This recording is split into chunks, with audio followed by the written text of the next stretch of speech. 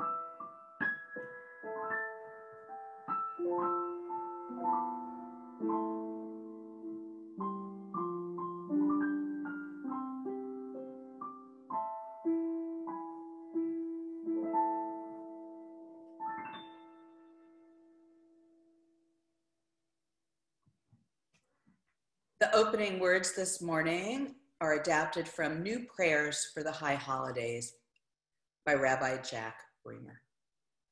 Now is the time for turning. The leaves are beginning to turn from green to red and orange.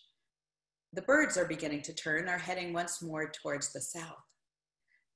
The animals are beginning to turn to storing their food for the winter.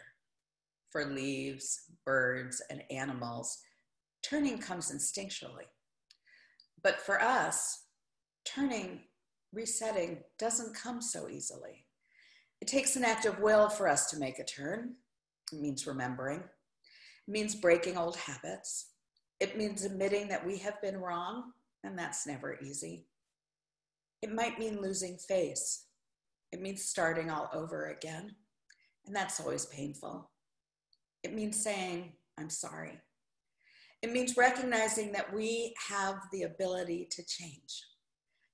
These things are terribly hard to do, but unless we turn, we will be trapped forever in yesterday's ways.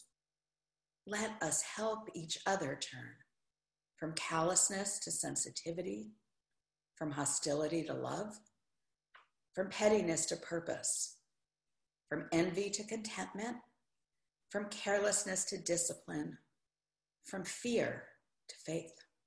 Let us revive our lives as we hoped it would be from the beginning. Let us turn towards each other, for in isolation, there is no life. Good morning. My name is Cynthia Young. I am the music director at the Unitarian Universalist Church in Reston. Our opening hymn this morning is hymn number 146 Soon the Day Will Arrive. The words will be in your chat box. Please sing along with me and Jesse.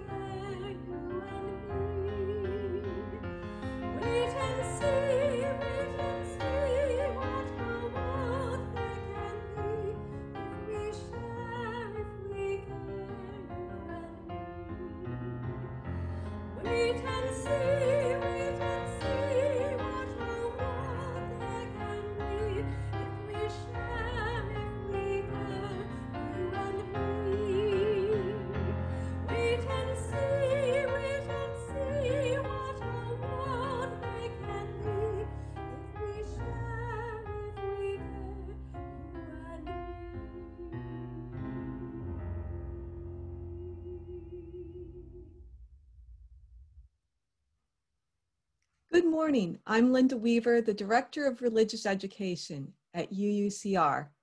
Our chalice lighting words this morning are by Lois Van Leer. Reverend Deborah will now light our UU Reston chalice. You may wish to light a candle in your own home.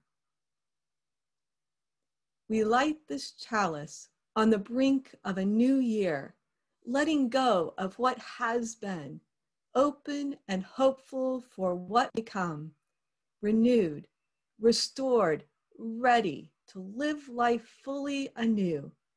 May we move forward with intention.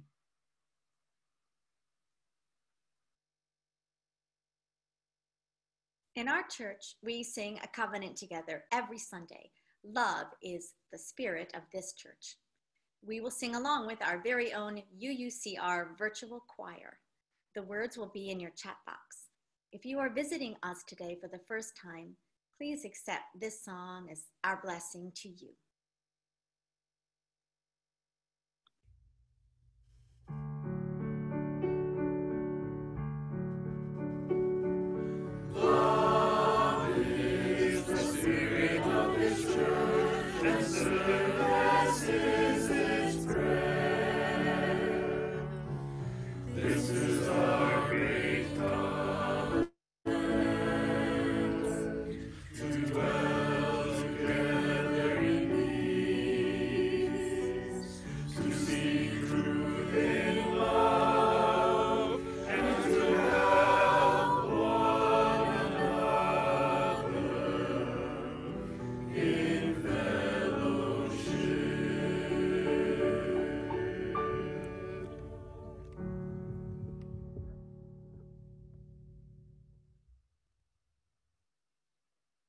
Now is the time for all ages, so gather round.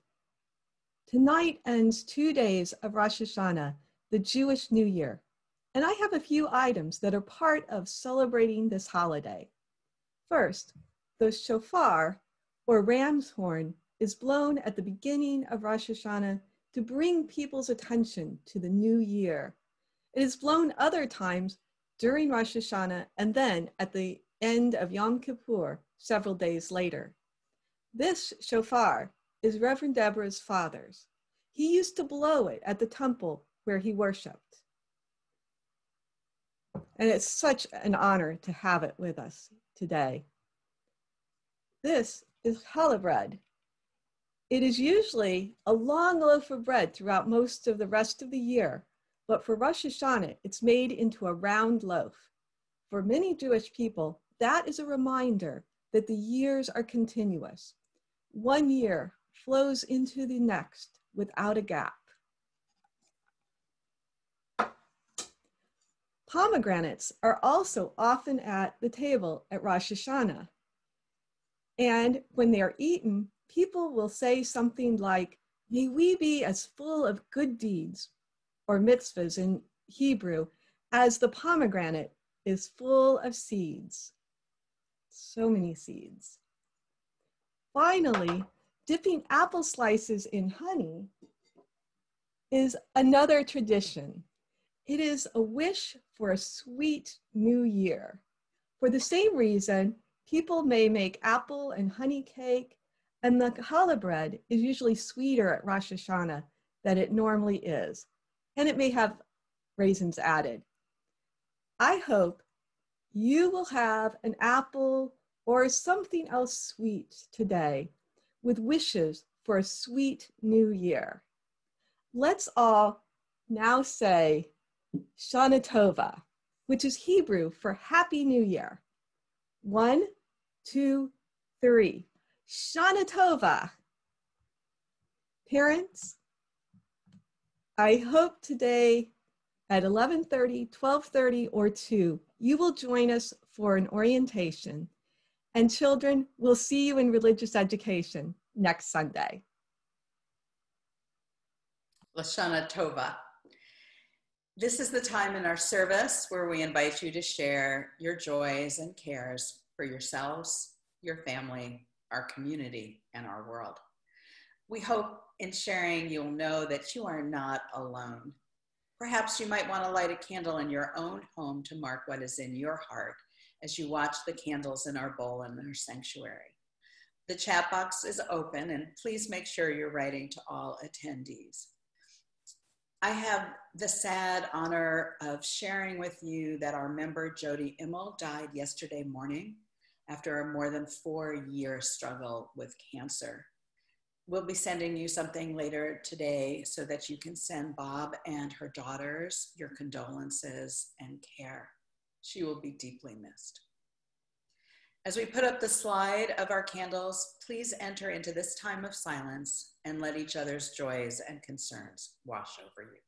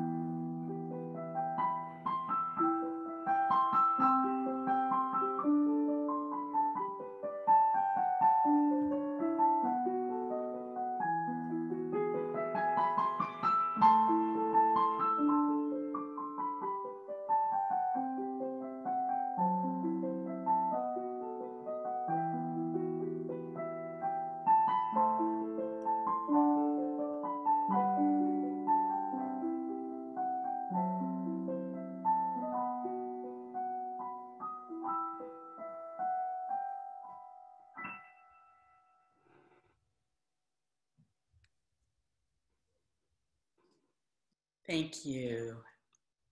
Thank you. In a moment, I'm going to invite you into your own time of uh, individual time of prayer and meditation and reflection. Jesse's going to be playing us a melody that for our Jewish um, members will be familiar. It's called Avinu Malkeinu. And it dates back to the second century when the prayer that it was based on asked God to remove the drought. The tune is from the 16th century. And I want to share with you the words from Avinu Malkeinu, which resonated so much in my heart this year when I reread them. Here are some of them. Our Creator, act with us for a new year. Remove from us all harsh decrees. Annul the intentions of our enemies. Foil the plans of our foes wipe out every oppressor and adversary against justice, withhold the plague from us. And it goes on, and it ends Our Creator, inscribe us in the book of good life. So, my friends, please, as Jesse plays this beautiful, haunting melody, enter into your own time of prayer, hope, and supplication.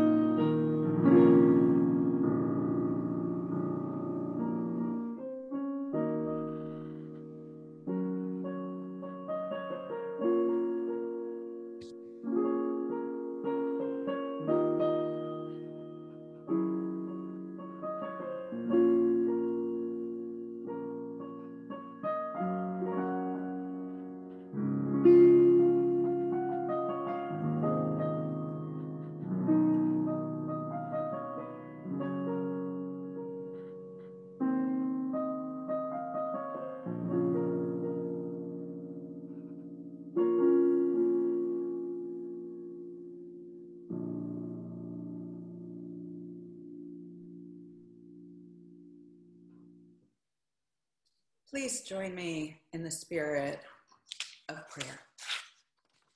Spirit of life and love, be with us this morning. This fall day reminds us of the goodness of creation, even as our hearts are heavy with the news of the death of one of us. Our hearts are heavy as we pass the grim toll of more than 200,000 people in the US who have died from COVID disease, many of whose deaths could have been prevented. Our hearts are heavy as we think of those suffering in Louisiana and California and Oregon, where climate change has devastated their lives. We hold in our hearts those among us, and there are many who are worrying about the care, the struggles of people with serious diseases, some at the end of life. We hold in our hearts those who are mourning the death of Ruth Bader Ginsburg and the death of dear friends and family closer. And yet, still, we remember that life is good we celebrate with one turning 85 and one turning 23. We celebrate the birth of a new baby, a new grandson being born in Massachusetts to join his twin sisters.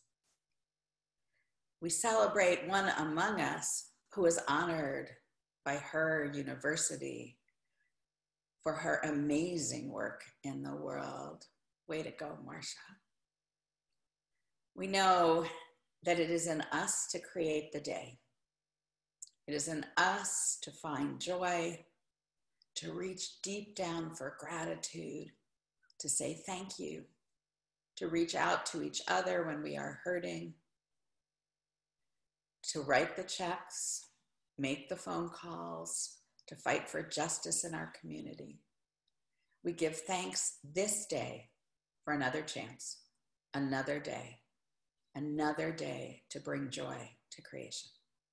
Amen. And so may it be. So, we're going to share this wonderful video right now. Um, it's called Reset by the 92nd Street Y um, in New York City, and they gave me permission to show it to you today. It's called Reset. It features music and lyrics by Abigail Pogrebin and Noah Aronson, and it was shot in 19, 2019 on mobile phones by members of Jewish communities all over the world that were celebrating Rosh Hashanah. Rabbi Rubinstein, who commissioned the song, um, uh, and says this video conveys joy, uplift, and renewal in order to help us take account reset priorities, and commit to better days in the year ahead. I think its message is probably even more relevant in 2020 than it was in 2019 when it was produced. For those of you who are unfamiliar with Jewish traditions, the video opens with a blowing of the shofar, the ram's horn that Linda showed you earlier. The shofar is blown at the beginning of Rosh Hashanah and then it closes Yom Kippur. It is a, verbal calling us to attention, to awakening in the new year. You'll see and hear a shofar at the beginning of the video and then try to listen for it at the end. Please join me in watching Reset by the 92nd Street Y.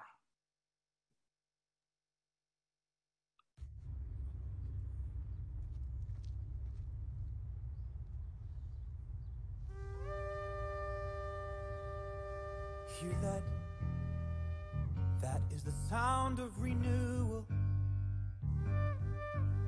Hear that? That is the sound of repair. How does the new year call you? What gives you pride and regret? Do you hear that? This is how we reset.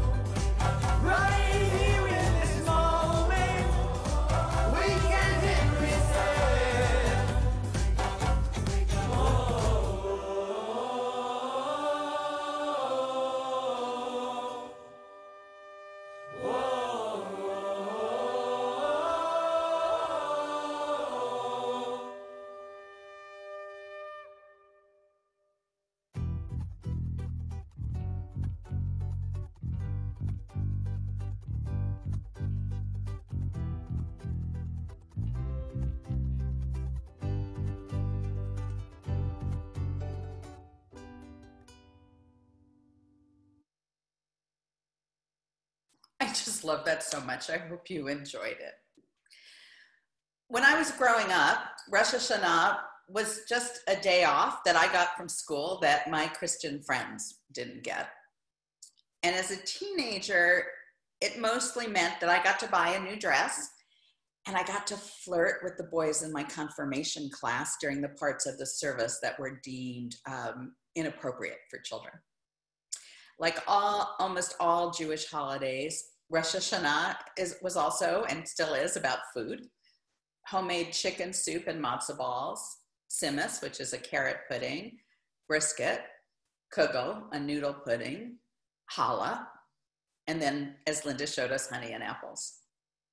I want to give you just a little bit of background on the Jewish New Year. In the Jewish calendar, we are beginning the year 5781. The words Rosh Hashanah in Hebrew transliterate to the head of the year. Unlike other Jewish holidays, it is not mentioned in the Bible, but emerges later in the Talmud and the Mishnah. Rosh Hashanah always begins the night of a new moon of the first Monday of the Hebrew calendar. And that's why its date on our calendar, which is not a lunar calendar, changes each year. But to Jews, it's celebrated the same day every year. Rosh Hashanah is the beginning of the Jewish high holidays, which are also known as the days of awe.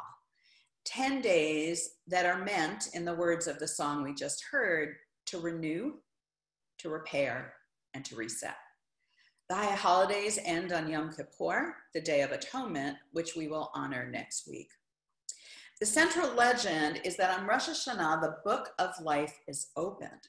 And during the next 10 days, God judges each and every person for their fate in the coming year. And then the book is closed at the end of Yom Kippur. The legend says that the truly righteous are automatically inscribed for a good year ahead.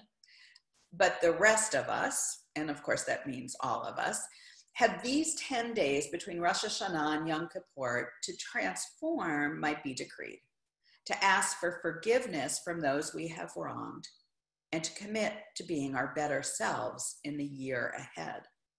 And we get to do it each and every year because we never really reach that level of righteousness.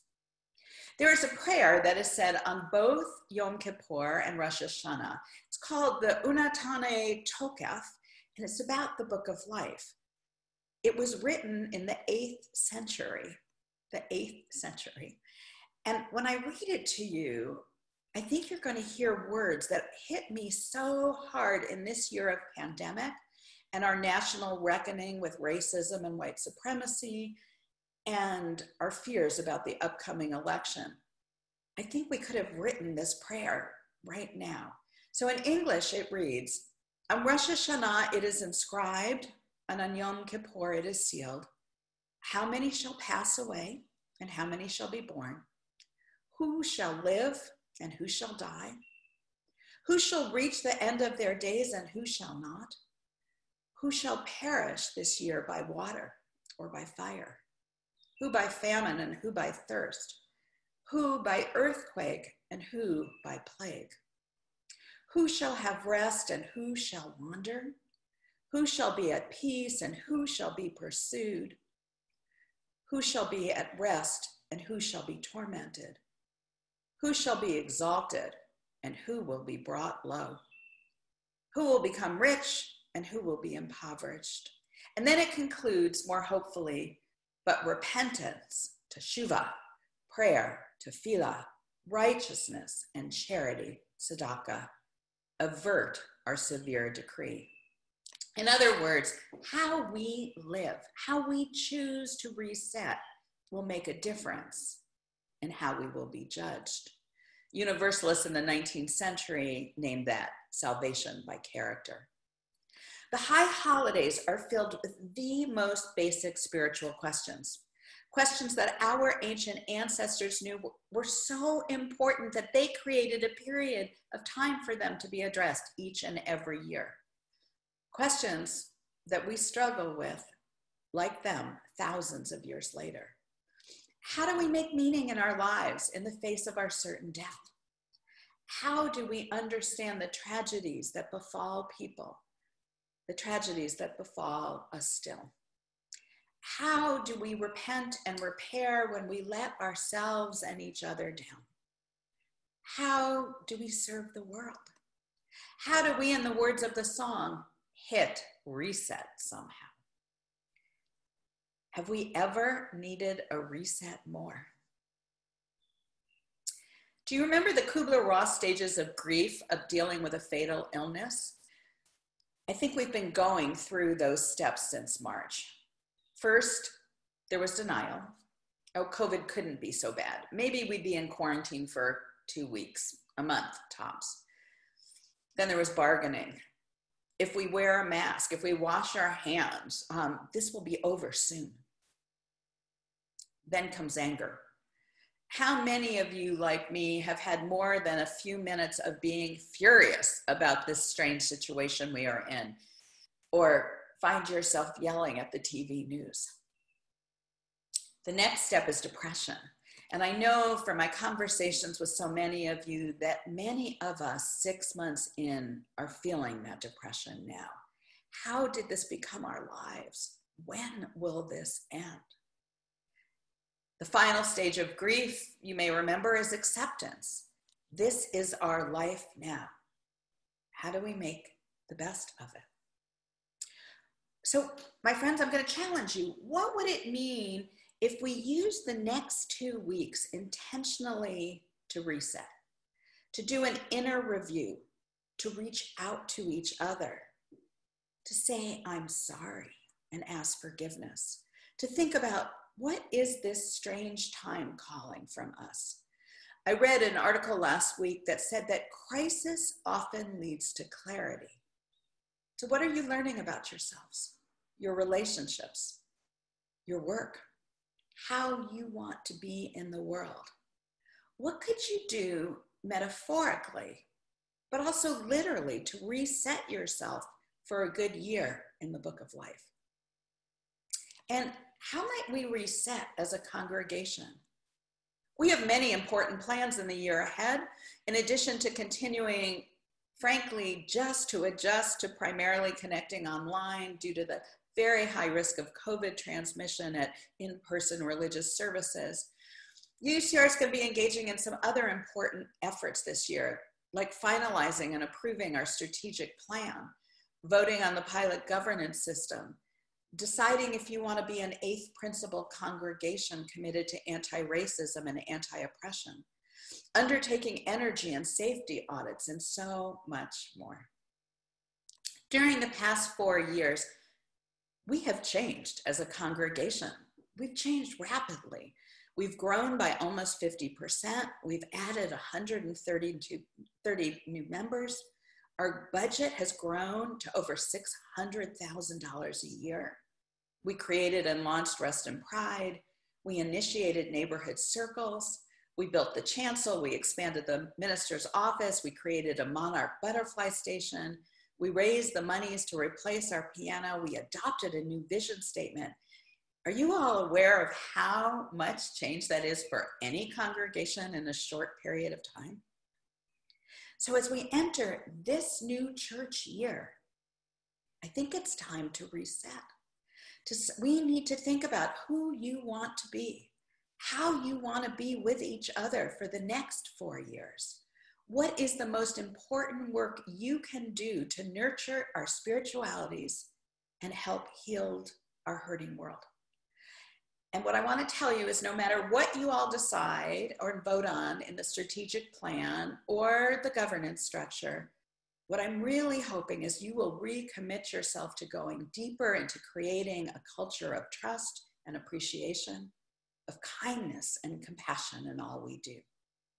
What might a reset mean to UCR? What might it mean to you?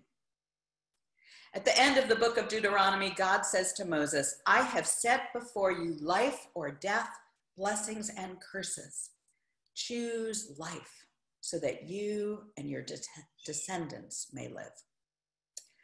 Life is precious, my friends. As I say to you all the time in very many different ways, this life is not a dress rehearsal. So use this opportunity to reset to decide how to create your own best life. Understanding that treating each other well, including forgiving each other, is how we bring the divine to life. This year, this year especially, I hope you recommit to working for justice, to helping heal the world, to perhaps putting ourselves on the line for freedom. My friends, the world needs you. Choose life. Choose to bless the world. May we all be inscribed for a sweet year in the book of life. Lashana Tova. Happy New Year. Our closing hymn today is hymn number 415, the last hymn in our gray hymnal, Hevenu Shalom Aleichem, which means we bring peace to you. In Jewish tradition, during this lively, energetic song, it is customary to bang on the table while singing. So feel free to bang on a table or pat your knees or clap your hands as you sing along. The words will be in your chat box. Please join me and Jesse in singing Hevenu Shalom Aleichem.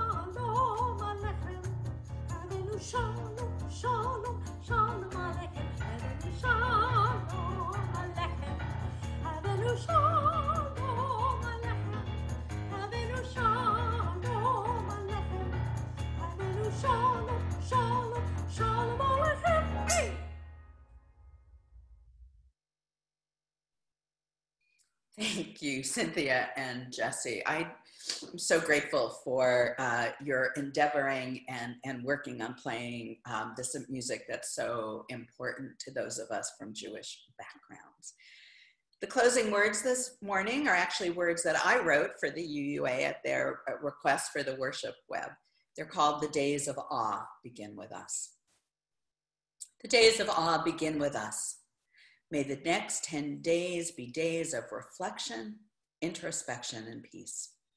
May we prepare ourselves for the changes in the year to come. May it be a good year. May it be a healthy year. May it be a year of peace all around the globe. May it be a year of peace within ourselves. May we live our lives with integrity, service, and love. May we be blessed with the strength of this community, of our family, of our friends.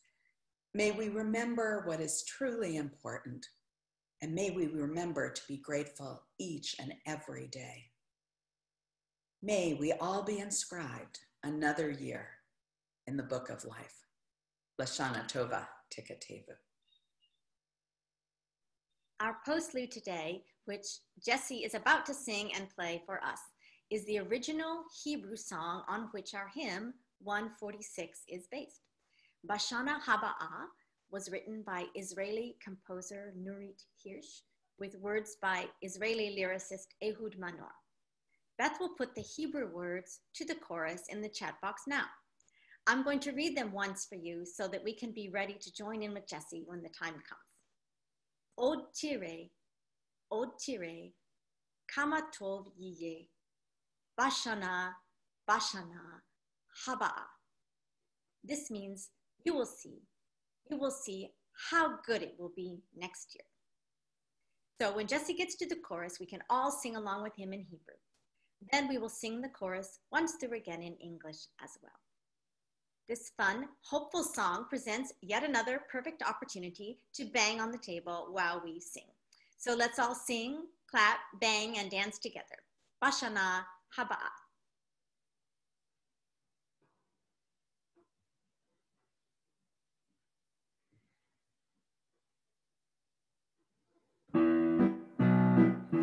השנה הבאה נשב על המפסת ונספור ציפורים נודדות.